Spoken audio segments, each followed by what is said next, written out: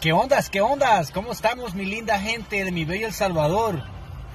Pues aquí, con un gran calor, extrañando mi, mi terruño y a la vez quererles compartir algo, pues quizás no incida mucho en, en las personas que vean este video, pero lo importante es que van a ver el mensaje. Saben, hace tres años a los flamantes diputados puchabotones, dipufocas, era su primer campaña para poder ganar una diputación en la Asamblea Legislativa. Y como caballito de campaña, ellos prometieron no ser igual que los mismos de siempre. Bajarse el salario, a quitarse privilegios, no tener asesores, a no contratar familiares en la Asamblea Legislativa y muchas cositas más que por ahí dijeron no, nosotros, y lo dijeron en declaraciones eh, en entrevistas de canales televisivos en mi bello El Salvador. Ya eh, eh, por ahí andan los videos, la verdad. Ahora, yo me pregunto y le pregunto a la población, ¿cumplieron esas promesas? ¿Se bajaron el salario? ¿Renunciaron a sus, a sus privilegios como diputados? Eh, pues en cada uno de ustedes está la respuesta. La mía tajantemente es no.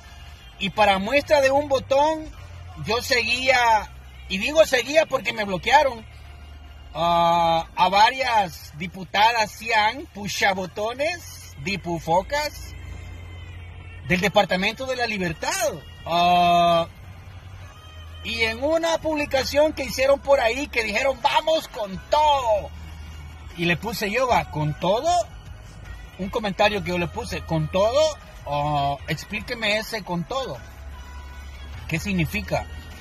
Y le puse yo, aunque yo no voté por ellos, pero le hice este comentario y les dije, explíqueme por qué razones tendría que darle la confianza yo nuevamente, o sea, darle el voto no renunciaron a sus altos salarios, no renunciaron al fuero constitucional, no renunciaron a los privilegios, etcétera, etcétera, etcétera. No renunciaron a los viajes, dijeron de que no iban a viajar, ¿verdad? Y han venido a hacer mucho turismo legislativo aquí a los Estados Unidos, a conseguir votos, a por poco se le han arrodillado a la, a, la diáspora y les dicen, confíen en nosotros, por favor, denos su voto nuevamente. Y cuando yo les hice ese, ese comentario, ¿saben qué hicieron? No me explicaron, me bloquearon de un solo. o sea, eso significa de que les puse el dedo en la llaga ahora yo miro, miro uh, muchos videos que suben ahí los, los ahora diputados pucha botones, tipo focas, haciendo campaña adelantada nuevamente. Y ahora ya no pueden decir, miren, les prometemos que ahora sí nos vamos a rebajar el salario, que ahora sí nos vamos a quitar el fuero. Ya no pueden prometer eso porque lo prometieron y no lo cumplieron.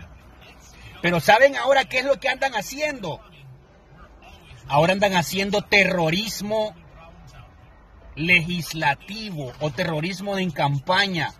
¿Por qué? Porque ahora andan diciendo y es el disco o es la canción que les han dado para volver a ganar o mantener la mayoría de, dipufocas puchabotones en la asamblea, o sea que no pierdan ese órgano del Estado por la mala gestión, por la pésima gestión que han hecho. Ahora, el caballito de campaña es, si vuelve Arena y FMLN a la asamblea, van a quitar el régimen de excepción y van a liberar a los delincuentes, van a liberar a los pandilleros. Mi gente, mis bellos paisanos, esa es la peor mentira. Y como decía el presidente de la Asamblea Legislativa hace poco en un, en un video que yo vi, decía con qué risa cínica, descarada, decía, cobardes, Arena y FMLN son cobardes. Les voy a decir una cosa, los cobardes son ellos, son ustedes, puchabotones. ¿Por qué? Porque prometieron en la primera campaña y no cumplieron porque se han dedicado a seguir al pie de la letra los renglones que les mandan de Capres, porque no tienen cerebro, no piensan, no tienen criterio propio. Ustedes son los cobardes que tienen miedo de alzar su voz por mantener un hueso, porque quien se le oponga al presi queda marginado. Quien le lleve la contraria al presi queda marginado. Entonces ustedes son los cobardes.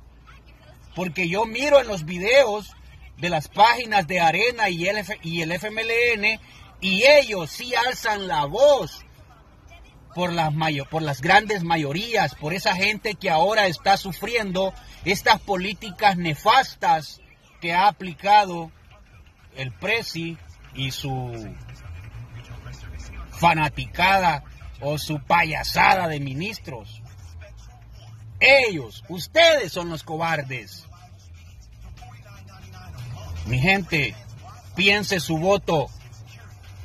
No se deje manipular por estas personas que ahora están realizando terrorismo político porque les están diciendo de que si votan o nivelan el poder en la asamblea, los pesos y contrapesos, o sea, en pocas palabras, les pegan una patada en el trasero a ese montón de, de buenos para nada, de pucha botones, y los mandan a buscar trabajo porque ya no les van a renovar el trabajo ustedes o nosotros mismos, que ellos son nuestros empleados.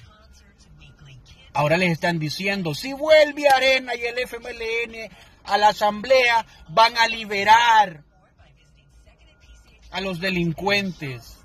Eso es mentira, señores. Eso es falacia.